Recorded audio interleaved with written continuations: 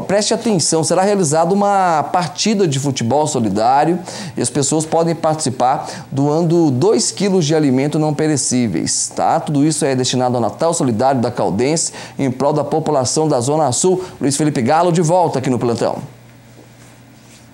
É isso mesmo, Paulo e todos que nos acompanham. O Futebol Solidário, uma iniciativa que acontece aqui em Poços de Caldas, vai ser lá no Bandolão.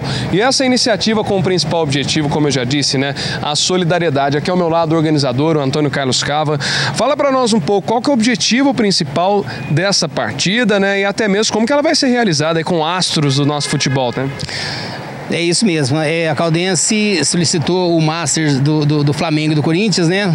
Através de alguns amigos em particular com a gente.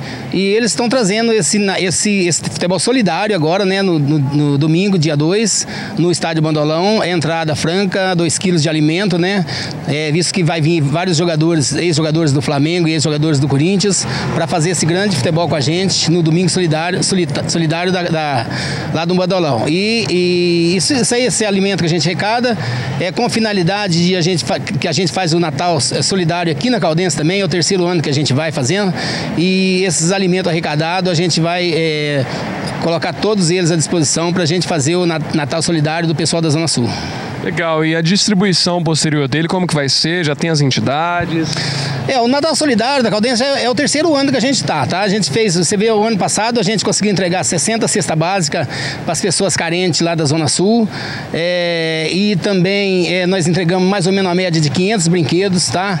Inclusive, a gente solicita, estamos solicitando também, além do alimento, as pessoas que puderem doar brinquedos em, em brinquedos semi-novos e usados também em boas condições, aqui na Caldense a gente está aceitando os brinquedos, tá? Tem uma banca também no fórum que está recebendo esses brinquedos, que é para a gente poder é, mandar esses brinquedos todos junto com os alimentos, todos para a Zona Sul, é onde a gente faz o Natal Solidário, é o terceiro ano que a gente está indo para o Natal Solidário lá na Zona Sul. Obrigadão, viu, pelas informações. Então é isso, para quem quiser acompanhar, tá todo mundo convidado, Futebol Solidário e depois também essa iniciativa que vai juntar essa solidariedade também com o Natal que já está chegando. As imagens são de Márcio Pinto, Luiz Felipe Galo para o Plantão 47.